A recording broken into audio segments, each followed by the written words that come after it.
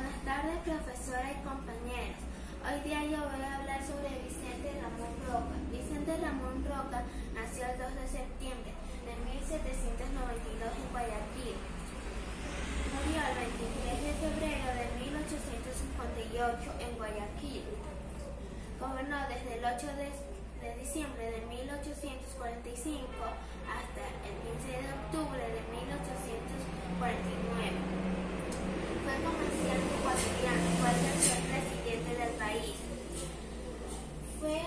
miembro del Partido Liberal. Lideró la revolución marxista. Obras. Palacio de Gobernación. Las casas de gobernación de Cuenca impulsó las escuelas dominicanas. Padres. Padres.